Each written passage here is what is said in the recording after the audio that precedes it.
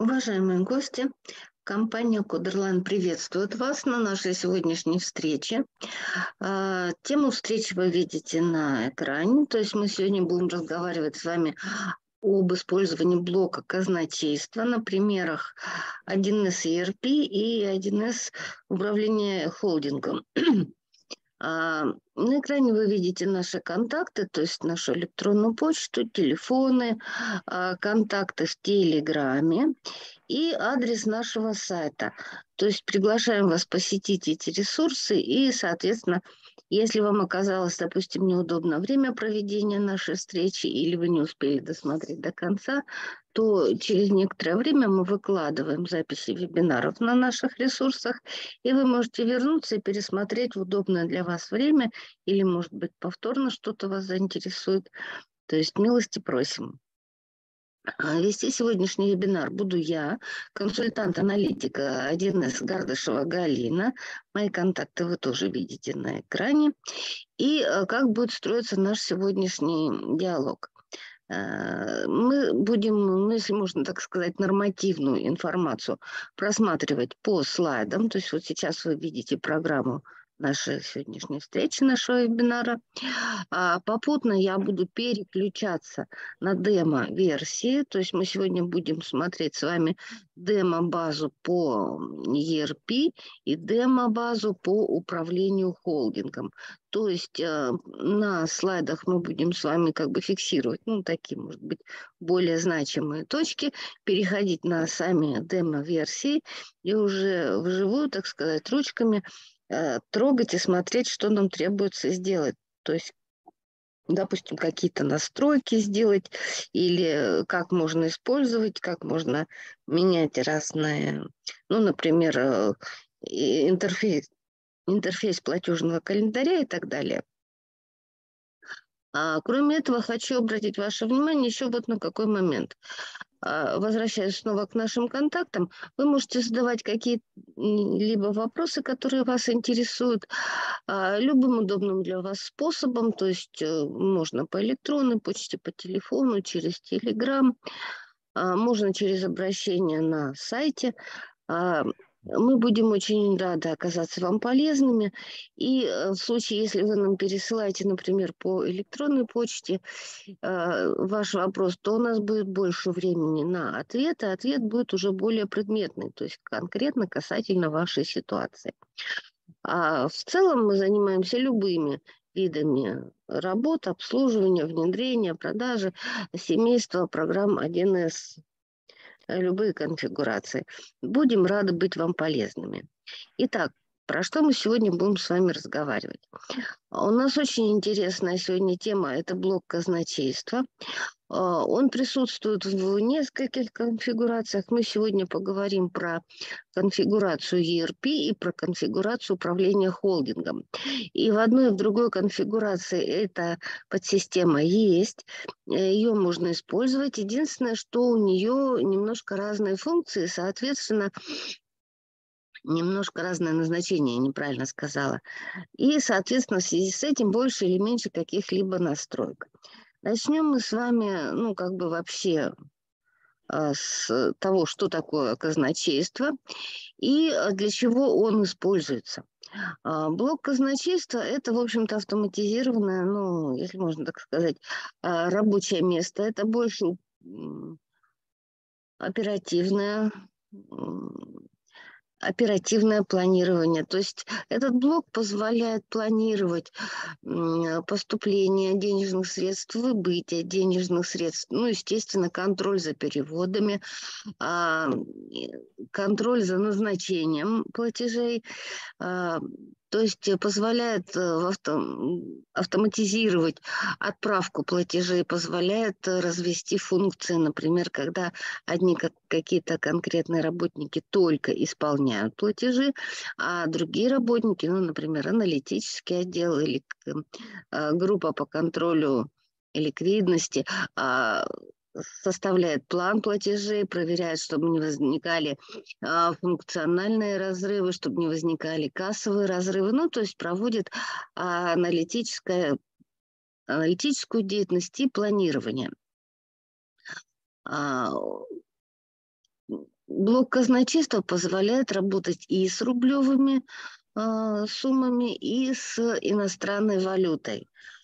Позволяет работать с кредитами, планировать э, платежи по кредитам и работать с подотчетниками. То есть практически весь блок работы с денежными средствами у нас э, в, этой, э, в этом блоке присутствует.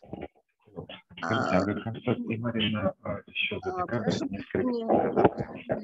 Гости, отключите, пожалуйста, микрофон, а то меня не слышно, но зато... Сейчас что-то сейчас, потому что я это не делала. Вы скажите просто, Хорошо. Я, я посмотрел выручку, благодарю, благодарю всех, кто выключил микрофоны у себя.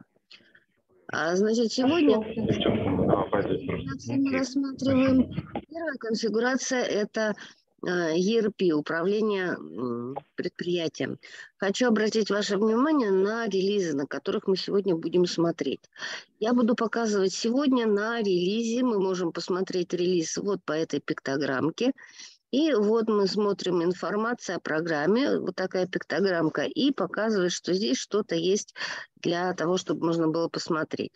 Значит, у нас с вами релиз 2.5.10. Это более последний релиз. А, почему важно именно на релиз обратить внимание? А потому что в разных релизах немножечко отличается компоновка экрана. То есть функционал сохраняется, все функции вам доступны, что, допустим, в более раннем релизе, что в более позднем, но немного по-другому скомпонованы а, по разделам а, какие-то функции и может немножко отличаться например, э, размещение меню вызова.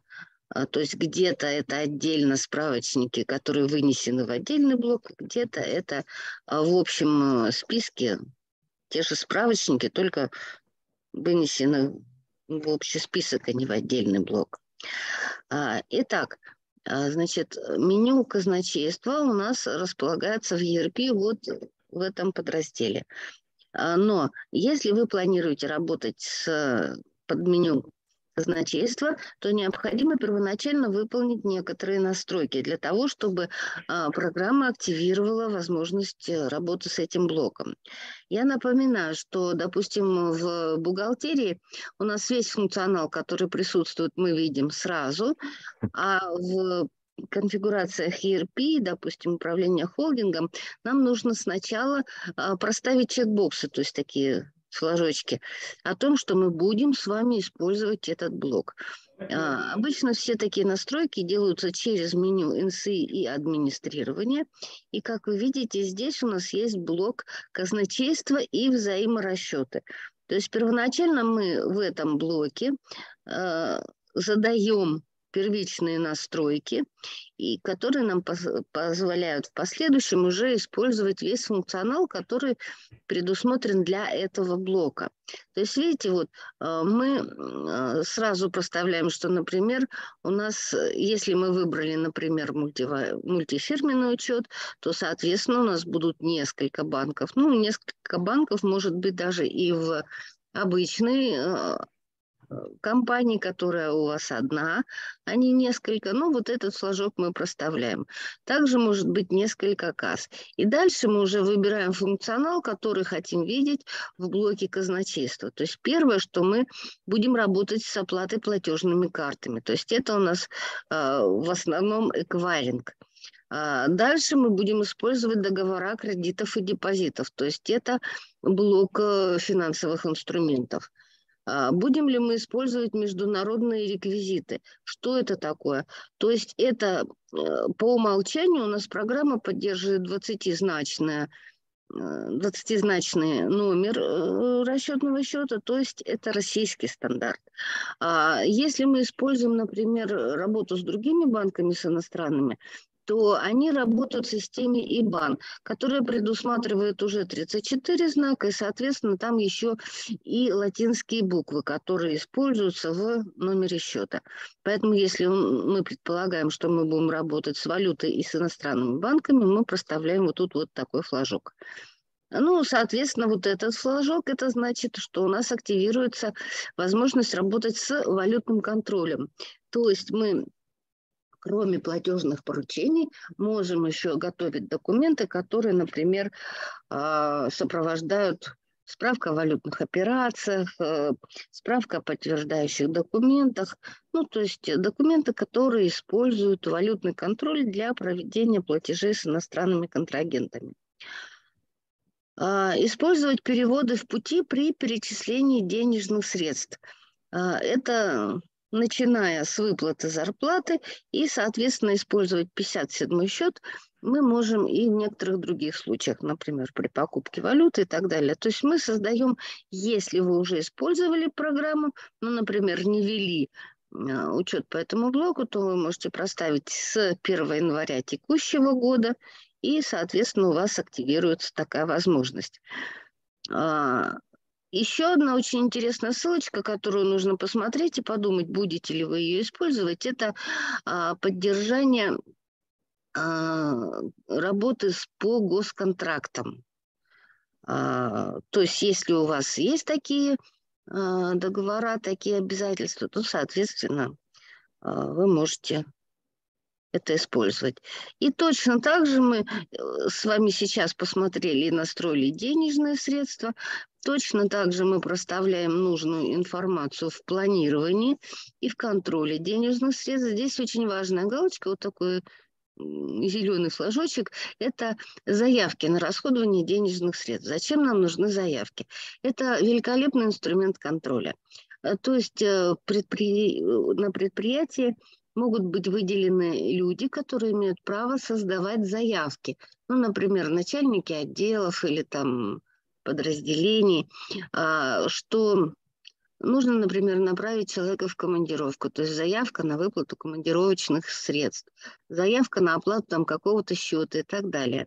В этом случае в системе создается документ, заявка, и он уже визируется а, ответственными сотрудниками. То есть это аналог подписи, например, на счете, подпись руководителя, что да, в оплату. А в крупных холдингах может быть целая система, когда прописываются маршруты, то есть по которому идет заявка. Например, сначала заявку должен утвердить начальник отдела, потом заявку должен утвердить главный бухгалтер, а потом должен утвердить, например, генеральный директор или финансовый директор. Ну, то есть у каждого предприятия может быть свой маршрут и свои ответственные лица. Еще э, использование лимитов. То есть использование лимитов – это уже а, ну, как бы элементы планирования – а, и, соответственно, в этом случае мы можем использовать лимиты на расход, например, на такое-то подразделение, на такие-то нужды. У нас существует лимит, например, миллион рублей. И в этом случае программа будет отслеживать целевое расходование этих средств и контроль лимита, то есть не перебрали ли мы по этой статье. А, такая же ситуация с подотчетниками, то есть мы проставляем открытые а, ну, во-первых, даты, во-вторых, выбираем нужные нам позиции. А, настройка блока казначейства происходит и в ERP, и в управлении холдингом. То есть принцип примерно одинаковый. Мы сначала через раздел НСИ и администрирование активируем блок, и задаем те настройки, которые хотим видеть. А после этого уже мы вернем, посмотрим еще в управлении холдингом и снова вернемся к нашим слайдам. Обратите внимание, здесь на блок подотчетники выделен достаточно большой объем настроек. То есть, во-первых, статус авансовых отчетов. А во-вторых, доверенности. То есть идет учет доверенностей, по которым э, подотчетные лица получают какие-то ТМЦ ну, в тех организациях, куда мы их, грубо говоря, послали. И та же история по командировкам. То есть, как и на расходование денежных средств, да, могут быть э, могут быть созданы заявки на командировку. В этом случае это идет, во-первых, планирование отсутствия работника на рабочем месте, во-вторых, планирование выделения денежных средств, ну и в-третьих, соответственно, э, учет доверенности, что он может что-то получать или не может получать, а только, например, имеет право рассчитаться за гостиницу, за э, транспортные какие-то услуги и так далее. А, обратите внимание, что сервис SmartWay, в принципе, очень удобный сервис. Э, единственное, что сейчас вот в связи с санкциями тут могут быть свои сложности. И э, еще один момент, то есть авансовые отчеты э, могут э, иметь несколько ступеней э, утверждения. То есть, допустим, по статусам. Э, когда человек подготовил вам авансовый отчет, а, приложил к нему все положенные документы и отдал. То есть это аналог того, что авансовый отчет подан директору или ответственному лицу на утверждение, но до момента, пока он не будет утвержден, он еще не считается принятым. То есть э, руководитель может не подтвердить расходы, которые произвел подотчетник. Здесь такая же система, то есть второй этап – это – утверждение авансового отчета, после которого те затраты, которые в нем перечислены, уже принимаются, соответственно, к учету финансовыми службами. А, и еще один подраздел, который имеет отношение к казначейству, это взаиморасчеты. А, и переоценка валютных средств. Почему переоценка валютных средств важна?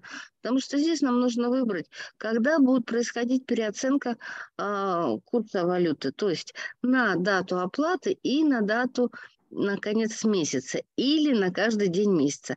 Возможно, вы сталкивались с тем, что банк присылает выписки, когда остаток в валюте, например, там тысяча долларов, но сегодня у нас тут одних денег, завтра других и так далее. А, в некоторых случаях, конечно, такая оценка правомерна, но чаще всего она создает достаточно много ненужных а, движений по счету и занимает время и место. И, соответственно, увеличиваются а, обороты по счету, внутри счета. А, общепринято, ну, скажем так, не то, что общепринято, а чаще всего использующийся вариант – это когда переоценка происходит на дату оплаты и на конец месяца. А, обратите внимание, что здесь есть подсказочки, вот, которые размещены, выделены другим текстом, и есть возможность использовать еще тематические подсказки. Когда у нас в конце какого-то ну, допустим, какого-то пункта, ставится знак вопросик. Это значит, что там есть тематическая подсказка. Мы потом посмотрим, что это такое, когда будет более подходящее, так сказать, место. Сейчас мы с вами поговорили про первичные настройки для работы с блоком казначейства. Сейчас мы снова с вами вернемся в наши слайды. А, и перейдем э, вот еще раз уже на слайдике. Э, это блок управления ERP. Э, То есть то, что мы с вами сейчас смотрели, но немножко, так сказать, это уже блок не настройки, это уже блок самого казначейства. Я хочу сказать немножко про его структуру. То есть обратите внимание, а, здесь у нас есть как бы подразделы, то есть планирование и контроль денежных средств, работа с банком, то есть загрузки, выгрузки банка с кассой, а, с эквайрингом. И вот то же самое, что мы с вами смотрели подотчетники, поскольку мы флажок в настройках поставили, взаиморасчеты мы флажки проставили, и финансовые инструменты. Что такое финансовые инструменты? Это договора с финансовыми или кредитными организациями, ну, чаще всего это банки, то есть, соответственно, это э, любые банковские договора, то есть кредиты, кредитные линии, э, допустим, овердрафты, какие-то другие операции, аккредитивы. Ну, то есть работа с любыми финансовыми документами, э, не касающимися обычных взаимоотношений клиенты-поставщики. А, в блоке ERP они у нас выделены вот таким отдельным блоком. И дальше у нас есть еще подраздел а, это создание документов, то есть чтобы не рыться, не переходить сначала сюда, потом сюда, потом сюда, вынесено вот таким образом. И меню сервисы, а, то есть можно здесь посмотреть. А отчеты у нас вынесены вот так, таким образом в отдельный раздел. А, мы сейчас с вами снова перейдем в ERP. То же самое мы с вами посмотрим уже, так сказать, э, на живом примере. А, это у нас вот э, отчеты по казначейству, банки и так далее. То есть то, что мы с вами уже видели. А, в управлении холдингом этот эм, интерфейс будет немножко по-другому. Сейчас мы с вами переходим в демо-базу управления холдингом. И обратите внимание, то есть управление холдингом у нас в принципе сначала содержит примерно те же пункты меню, что и обычно ERP, но потом у нас идет вот таким образом NCI и администрирование. Э, если мы переходим в этот блок, то есть NCI администрирование, это начальная эм, нормативно-справочная информация и администрирование. В принципе, структура этого раздела такая же, как и у ERP, но немножко шире, если можно так сказать, шире ассортимент, больше подразделов и больше возможностей настроек. Так же, как и в ERP, здесь есть подраздел казначейства, и мы точно так же, как в ERP, задаем первичные настройки, то есть что мы будем использовать, какие блоки мы хотим видеть и активировать. Ну вот, видите, то же самое. А, планирование, подотчетники, взаиморасчеты, переоценка валюты. А вот как, после того, как мы вот эти блоки с вами уже настроили, мы можем переходить в, под, в подраздел казначейства.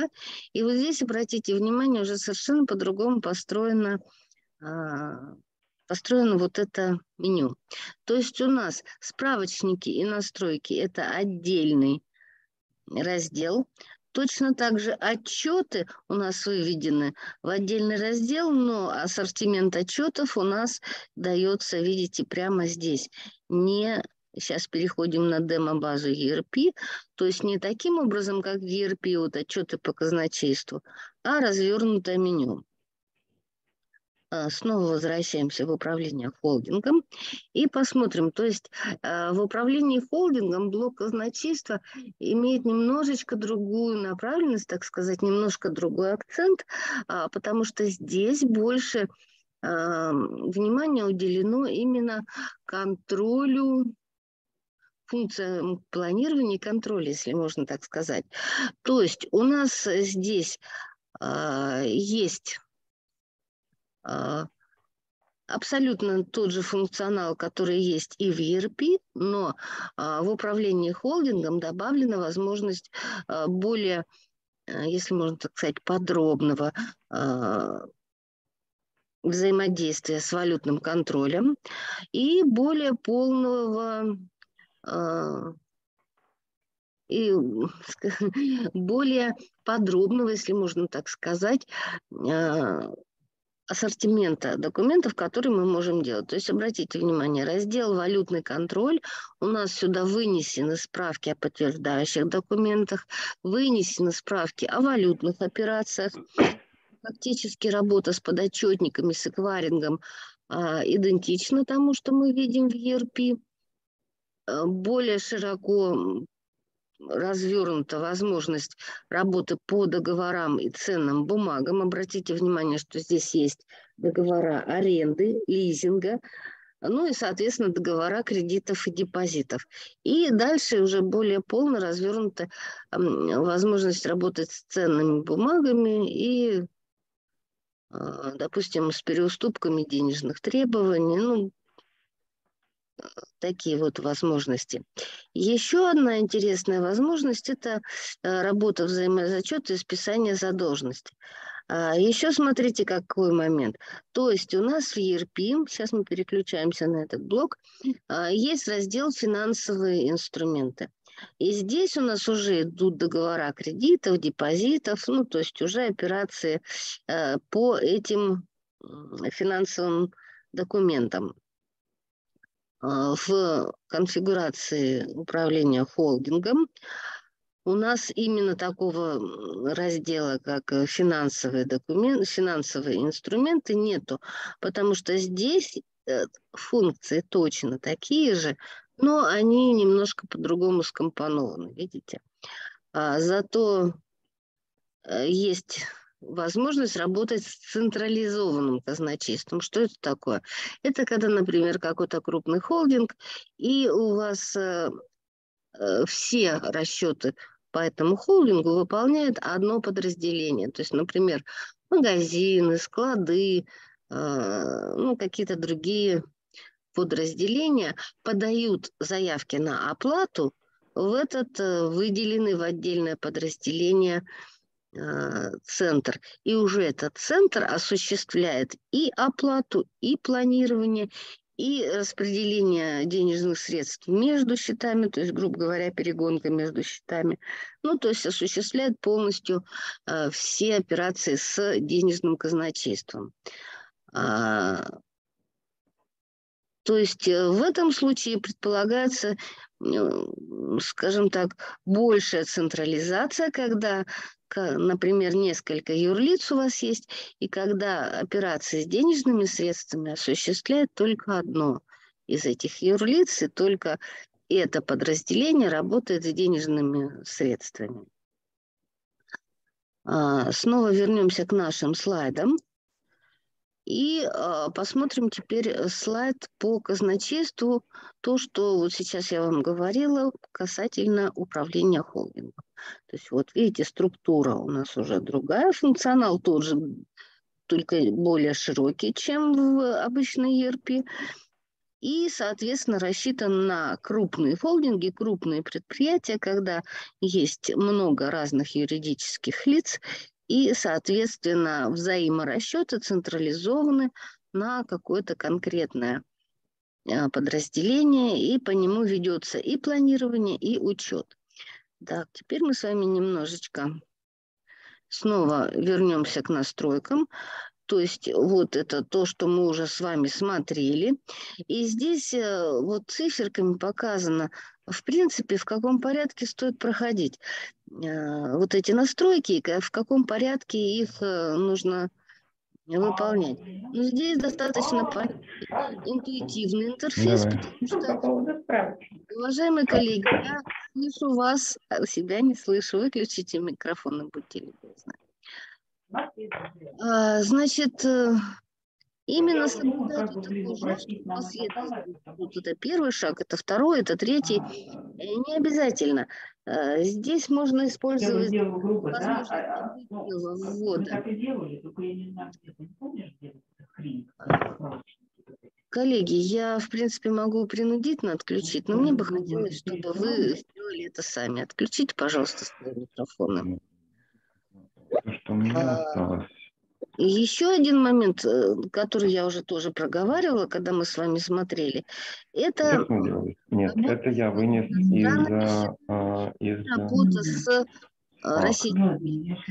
То есть, как вы видите, в российском формате 20 символов, в ибановском международном формате до 34 символов. И, соответственно, отличаются реквизиты банков. Которые... Вот, вот это мы делали. А, ну, собственно, по банкам мне еще единственное хотелось бы сказать, что когда вы ставите отметочку, что вы работали, э, хотите работать с иностранными банками, у вас э, появляются вот э, такие реквизиты для работы с валютным контролем. А, централизованное казначейство холдинга – это именно функция, которая у нас присутствует в управлении холдингом, то есть то, что я вам сказала уже, а, и вот какие функции может выполнять в этом случае при работе с а, управлением холдингом казначейство.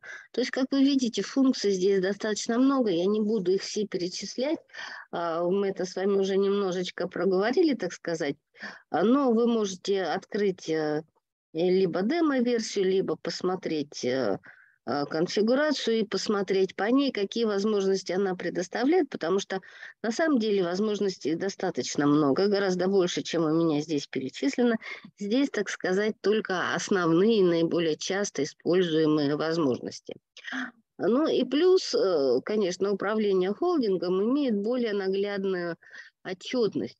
А, то есть, например, вот можно выводить в таком формате, как вы видите, а, просроченная задолженность вместе с графиком, то есть остатки кредитов, займов, Ну, то есть для руководителя отчетность по э, блоку казначейства может быть очень наглядной, несложной и, в общем-то, интуитивно понятной, когда не требуется владение какими-то специальными бухгалтерскими терминами и чем-то ну, аналогичным. А в системе ERP то есть не управление холдингом, а обычный ERP, а есть возможность немножечко упрощенное планирование при, применять, если можно так сказать.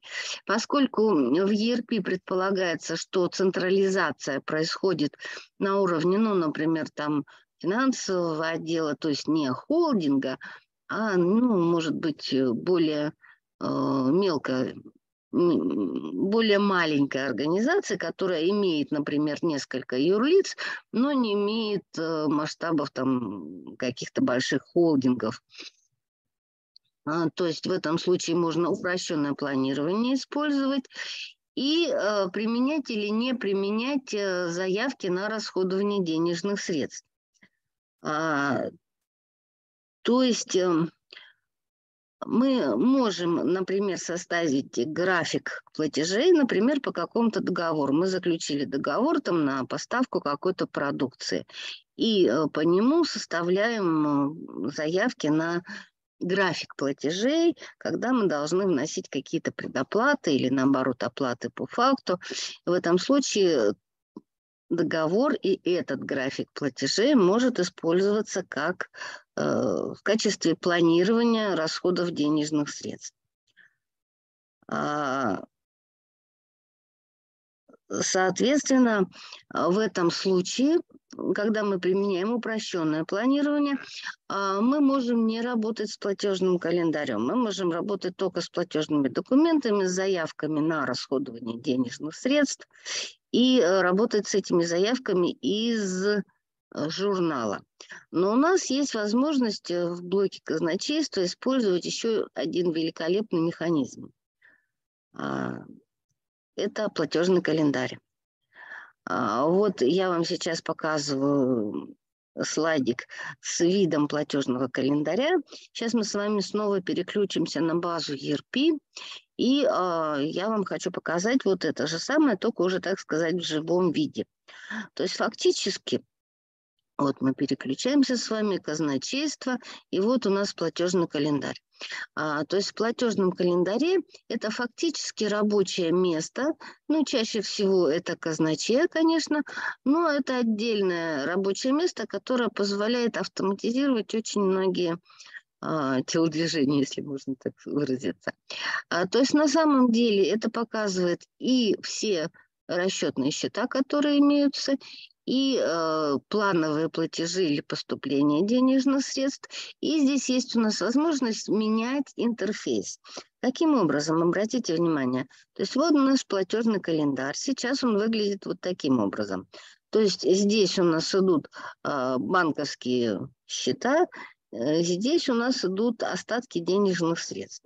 И э, здесь мы с вами видим, ну, что нам надо заплатить и как. Но, во-первых, у нас есть возможность вот здесь вот в, по кнопочке «Вид» а, задавать разную, разный вид того, как будет отображаться эта э, функция. Ну, допустим, выберем сейчас, а, у нас стоит заявки платежный календарь. А в этом случае мы видим заявки, мы видим а, остатки и так далее. Если мы выбираем с вами, например, вот такой интерфейс, то у нас сейчас вот это поменяется, и в верхней части мы видим с вами, ну, фактически те же самые счета, видим те же самые остатки и видим плановые э, поступления или плановые платежи, которые у нас по датам распределяются. Мы можем вывести в целом по всем нашим организациям, можем выбрать какую-то конкретную одну организацию, ну и, соответственно, либо выбрать э, какую-то валюту, например, рубли, либо по всем валютам сразу. В этом случае у нас валюта отражается, видите, вот здесь, вот какая валюта. Ну и та же самая история э, в соответствии с счетом или с конкретной кассы. То есть если я хочу, то есть меня интересует, например, только этот банк, то я себе спокойно его выберу, остальное мне не будет мешаться на экране. А в нижней части окна будет, будут отображаться заявки, которые у меня есть там, например, э, заявки на оплату. И будет выдел... отражаться статус этой заявки. То есть оплатить заявку мы можем в том случае уже отправить ее в оплату, когда у нее статус к оплате, то есть установлен. Может быть несколько статусов там а, на согласование, на оплату и так далее. То есть, видите, вот пока я вам рассказывала все, у меня все-таки сработал отбор. То есть, если я хочу какую-то конкретную кассу или банк, я здесь ставлю отметочки, и у меня, соответственно, здесь отразится только выбранный элемент. А, значит, что касается наших э, заявок. Ну вот я сейчас просто выбрала, что у меня здесь нету пока заявок. Сейчас посмотрим. А, в демобазе, извините, к сожалению, не внесены эти заявочки. Поэтому придется объяснять на словах. А, значит, после того, как мы отобрали, например, вот по вот этому юрлицу мы отобрали, какие у нас есть заявки на оплату в статусе к оплате. Но это еще не платежное поручение. Для того, чтобы наша заявка перешла а, в разряд платежного поручения, которое отправляется в банк, я должна а, ну, во-первых, если у них не у всех э, статусы установлены, я могу статус изменить, то есть поставить к оплате.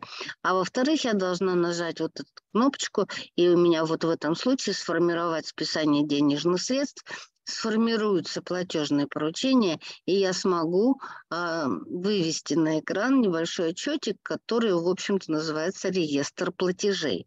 То есть у меня будет э, виден реестр, какие платежные поручения я хочу отправить. А, обратите внимание на то, что это еще не сам клиент-банк. То есть это пока подготовка документов. Но а вот, например, я смотрю, что промресурс у меня а, минус, то есть у меня какой-то должен быть, значит, какой-то приход поступления какого-то кредита или еще чего-то. То есть откуда у меня возьмется средство? И в этом случае у нас есть еще одна возможность изменить внешний вид нашего платежного календаря. Извините, увлеклась и махнула мышкой немножко дальше. Значит, снова возвращаемся э, к демо-базе и снова возвращаемся к казначейству, к платежному календарю. И у нас есть вот такая кнопочка «Еще». А по этой кнопочке мы переходим в меню «Настройки». И вот э, перейдя в меню настройки, мы можем еще а, уточнить, если можно так выразиться, а, видимость того, что у нас отражается в этом а, разделе, то есть в рабочем месте платежный календарь. Ну, во-первых, мы ставим что, возможность видеть несогласованные заявки, то есть заявки, которые еще не перешли в статус к оплате. А, во-вторых, мы можем э, вывести видимость ожидаемых поступлений, то есть а, когда у нас должны быть э, поступления по заказам.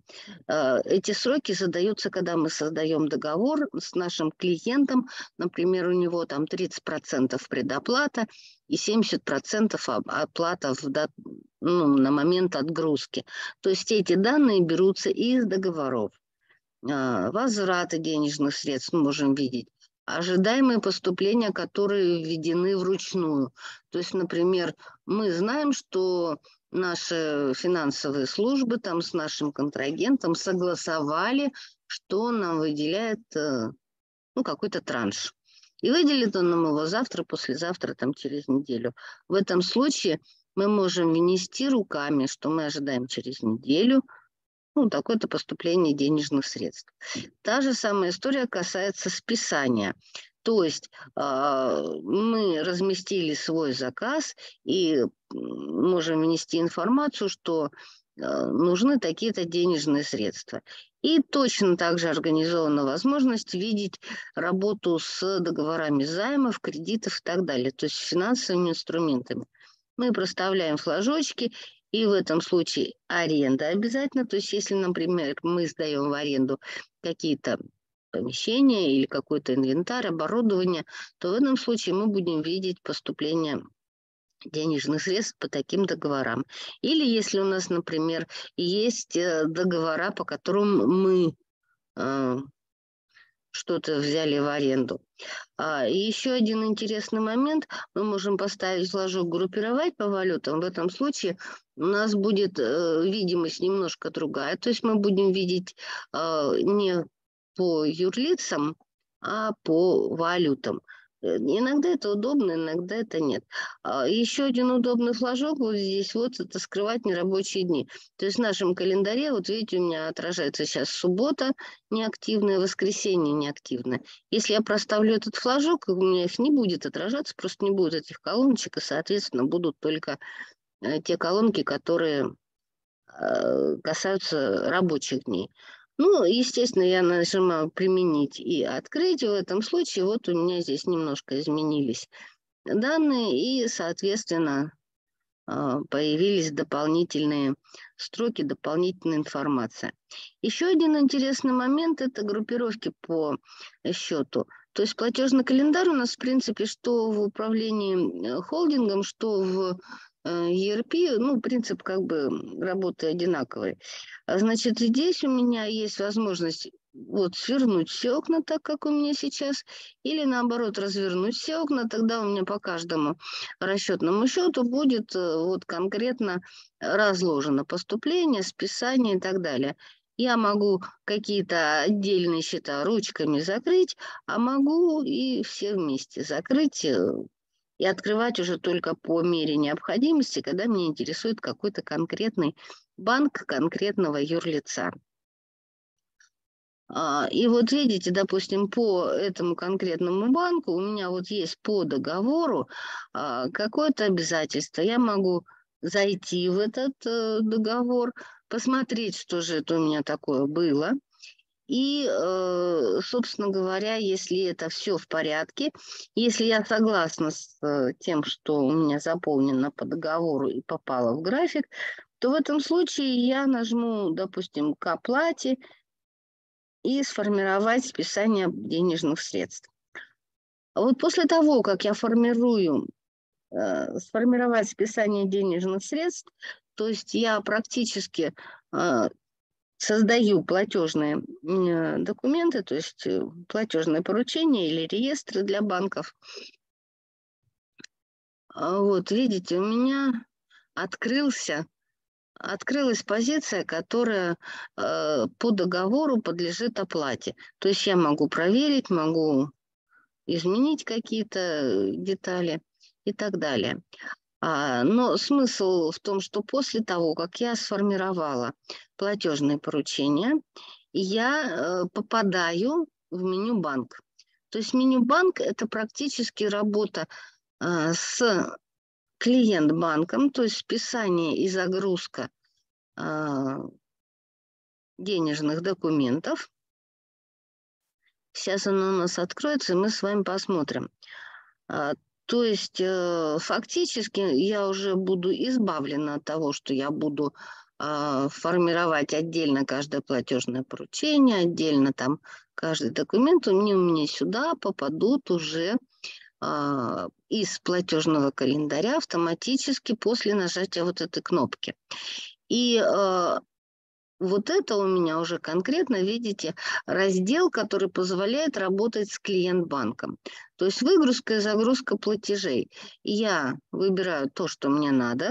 Ну, например, если у меня идет загрузка выписки, вот я выбираю загрузку выписки. В этом случае у меня а, по соответствующему, а, что я выбираю, какой банк я выбираю, например, ну вот, вот так вот мы сделаем, потому что здесь есть файл. А, в этом случае у меня программа подтягивает файлик, который выгружен из клиент банка, и я уже могу с ним дальше работать. Соответственно, а, я в этом случае уже вижу, какие он у меня а, подтянул документы, а, и что провелось или не провелось. И здесь есть еще одна очень удобная фишечка. То есть, смотрите, например, э, я, не глядячи, щелкнула какую-то конкретную файлик выгрузки из клиент банка. У меня здесь отобразилась выписка. Я проставила вот такие флажочки, то есть что у меня автоматические документы проводятся.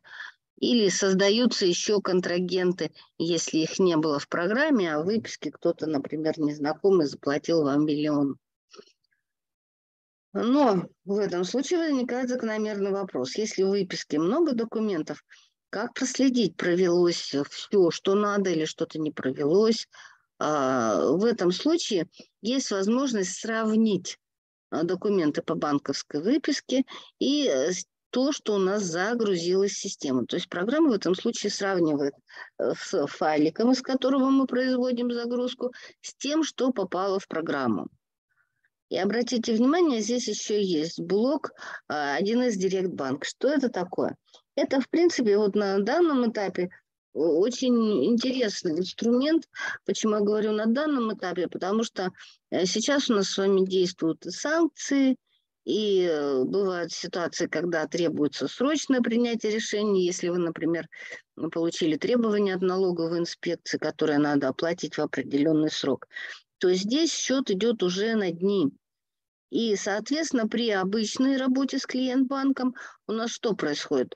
Мы формируем в программе файл выгрузки, выгружаем его в какое-то конкретное место, и уже после этого запускаем клиент-банк, и клиент-банк подтягивает файлик вот из этого места в программу банка. А, и, соответственно, дальше происходит обработка банком, и э, выдается нам выписка, ну, о том, что проведено банком, или наоборот отказ, и тоже в зависимости от того, какая у нас приключилась операция. А есть система 1С Direct Bank. Обратите внимание, это доработка, это сервис отдельный, который позволяет а, работать напрямую с а, клиент-банком, то есть минуя этап а, вот этой выгрузки промежуточного файла и потом загрузки этого промежуточного файла в банковскую систему. То есть э, сервис 1С Direct Bank позволяет напрямую из 1С э, выгружать или принимать документы с, с банковской системой. А, соответственно, если вы хотите подробнее посмотреть, что это такое, вот перейдя по такой ссылочке, вот видите, синим текстом, э, можно подробно посмотреть. А, сейчас достаточно много банков работают с сервисом Bank, и можно прямо из э, программы, прямо, прямо из вот этого раздела подключить такой сервис. Этот сервис почему очень удобен? Потому что он позволяет, во-первых, сократить время на обмен файлами, а во-вторых, более оперативно реагировать на какие-то изменения. Ну, там банк прислал, например, что у вас блокировка по счету или еще что-то в этом роде. То есть в этом случае вы быстрее сможете среагировать и, соответственно, не потерять время. А, значит, э, это как бы ну, внешние контакты казначейства с банками. А что еще может быть в казначействе такого интересного, что облегчает жизнь рядовому главуху, если можно так сказать, и, соответственно, а, компании? То есть вот видите, мы с вами вернулись в меню безналичные платежи, то есть а, перед этим мы с вами заходили по ссылке загрузка выписки или ну, выгрузка документов в банк. Это мы вернулись с вами в журнал операций. То есть, видите, Здесь э, у меня перечислены, ну, например, вот пусть это была выписка за какой-то день, я вижу, что у меня пришло, что у меня списалось, и, соответственно, а, вот результаты и кто автор этого безобразия. То есть вот у меня, например, оператор Орлов, и вот, значит, это он мне произвел загрузку вот выписки. Но кроме того, что я вижу здесь еще видите остатки на начало, поступления, обороты.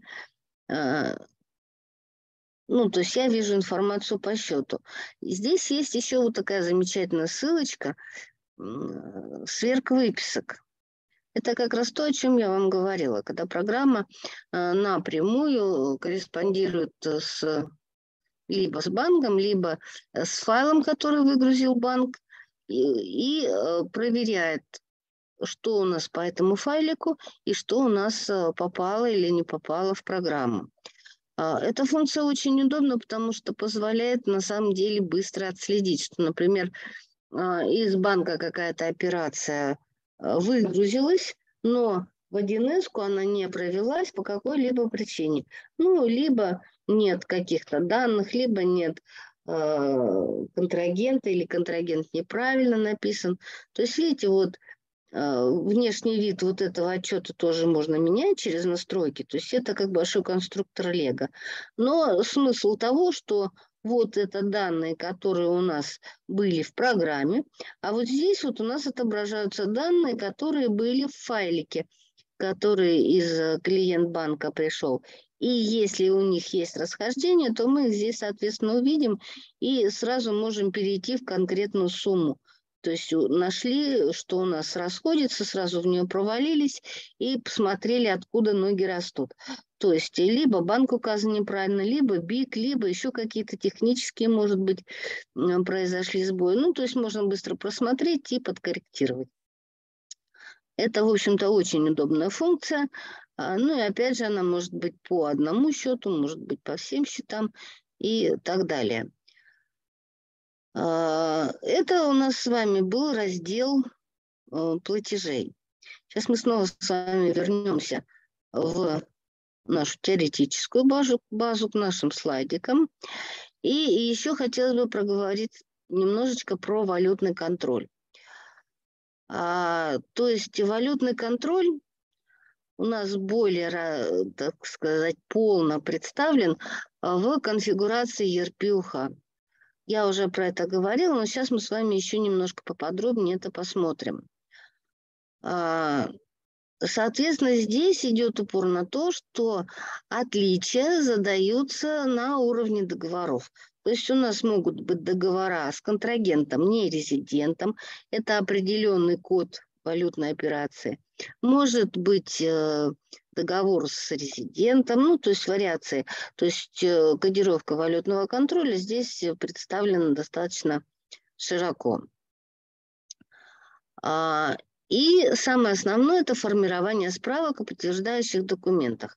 То есть раньше, если вы помните, таких документов, ну, например, в бухгалтерии, в 1 не было, потому что у каждого банка а, для валютного контроля, то есть смысл одинаковый, что все банки должны, например, э,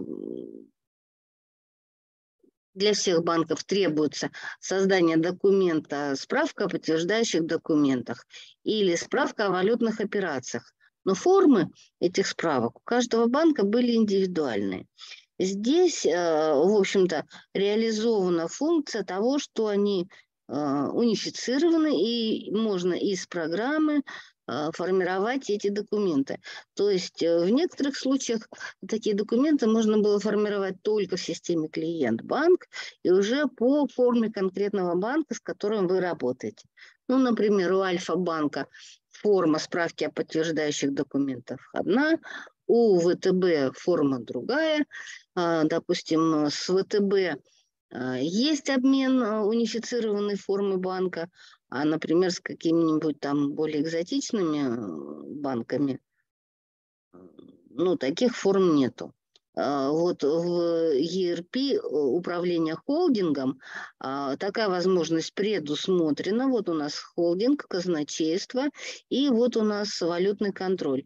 Если мы переходим справка о подтверждающих документах, то у нас формируется а, сам документ, по кнопочке «Создать» мы формируем нужный документ, и, соответственно, у нас этот документ уже может быть также включен а, в разделе казначейства, может быть выгружен в, допустим, если вы в Директ-банке работаете напрямую в банк, и, соответственно, в него подтянутся все сведения об этом контрагенте, о паспорте сделки, ну, то есть вся информация, которая раньше указывалась уже в системе самого клиент банка.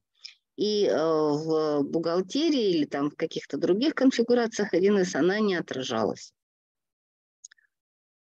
А, ну, вот видите, у меня вот, слава богу, сподобился. То есть здесь абсолютно стандартный набор реквизитов, которые мы выбираем. То есть мы выбираем банк, мы выбираем, по какой организации у нас это, а, этот документ формируется и какие подтверждающие документы. То есть, например, если у нас была ГТД, то здесь подтягивается документ, который а, на основании которого это, этот документ создается. А, код вида документа, видите, вот, э, собственно говоря, а, кодировка валютного контроля. Ну соответственно, вся остальная информация подтягивается сюда. И уже не надо ввести в отдельном excel файлике, какой номер последний был, какая, допустим, ГТДшка туда вошла. Ну, то есть очень удобный, комфортный получился э, раздел. Снова возвращаемся в казначейство. А, и снова смотрим. То есть по валютному контролю у нас есть сведения о валютных операциях. Соответственно, это э, если наши платежи и так далее. И а, плюс ко всему у нас есть возможность здесь же а, делать документ, а, паспорт сделки. То есть паспорта сделки, точно так же, как и другие валютные документы, у нас были для каждого банка ну, немножко разная форма. Смысл, информация, а, форма предоставления этой информации, она одинаковая, а вот бланки чуть-чуть у каждого банка отличались. Сейчас у нас а, есть возможность здесь уже э, делать, э, допустим, паспорт, документ паспорт сделки. Снова переключаемся к нашим слайдикам. Вот. И что еще хочу показать, это, собственно говоря, вот такая справочка. Сейчас я немножко масштаб увеличу, чтобы было более видно. А, вот. То есть это у нас с вами управление холдингом. И управление холдингом у нас, в общем-то, вот позволяет делать основные операции, которые перечислены. Ну, то есть детализацию с настройками. Сейчас мы переключимся в саму э, конфигурацию ERP управления холдингом. И, э, собственно говоря, что я хотела бы показать. Это то, что у нас здесь есть, видите, очень большой э, блок отчетов, которые мы можем получить из э, подраздела казначейства. То есть мы можем вывести, э, видите, и информацию по свопам, и какие-то уже более э, такие специализированные документы. Но, повторюсь, блок казначейства, который мы видим в управлении холдингом, предназначен для более централизованных, крупных платежных центров, когда осуществляется планирование и платеж а, по всему холдингу, по разным юридическим лицам, ну, то есть более укрупненно. А в ERP у нас в разделе казначейства, скажем так, немножко более домашняя ситуация. То есть в ERP это предназначено для автоматизации а, рабочего места специалиста, который работает по, а, допустим, банку кассе. И а, здесь гораздо проще организована работа с валютным контролем и работа с финансовыми документами. То есть нет таких ну, сложных а, процедур, как, допустим, свопы и так далее. А, в принципе, это можно сделать, можно добиться. Точно так же, как и во всех других конфигурациях. Если вам не хватает каких-то отчетов и еще чего-то, их можно либо сконструировать самостоятельно, либо обратиться для помощи к разработчикам, чтобы вам добавили недостающие ну, документы. Но в управлении в ERP, а здесь больше расчет как бы на текущие операции, на текущее планирование. То есть, чтобы не допустить кассовых разрывов, чтобы проконтролировать а, согласование платежей, что то, что ушло в банк, у вас утверждено руководителем, у вас утверждено, а, допустим, одобрено специалистами финансового блока. Ну, то есть больше контроль и э, оперативная работа. А, и еще один интересный момент, хотелось бы на нем тоже заострить ваше внимание, что несмотря на то, что заявки на расходование денежных средств, например, вы в системе а, проставили отметочку, что вы используете заявки на расходование денежных средств, но у вас есть какой-нибудь там банк, в котором происходит один платеж, например, это кредитная линия, и один платеж в месяц, там какой-то фиксированные, например, на ближайшие 40 лет.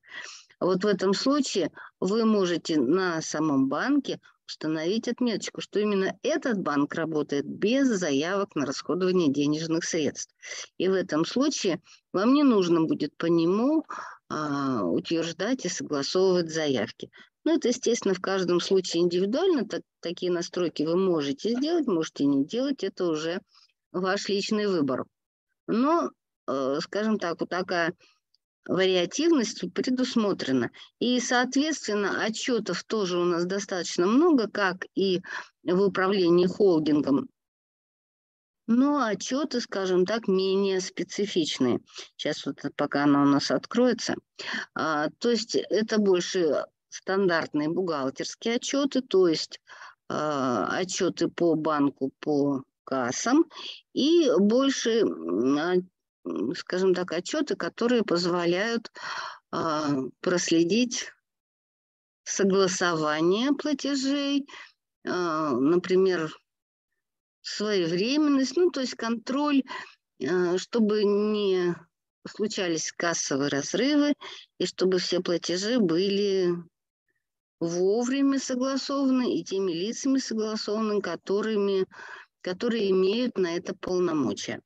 А, точно так же здесь можно устанавливать лимиты, как и в ERP, но, скажем так, э, расчет идет на предприятия, возможно, даже холдинги, но не такие, допустим, глобальные, как там, ну, не знаю, Ашана или Железная дорога или еще какие-нибудь вот аналогичные монстры. То есть это расчет на более мелкие предприятия. То есть, видите, здесь у нас есть стандартные отчеты, которые мы можем из бухгалтерии получить, из других, то есть и по движению денежных средств, и контроль операций, реестры платежей, и по подотчетникам. Ну, то есть, видите, а, э, ассортимент платежей, точнее отчетов, здесь у нас гораздо уже.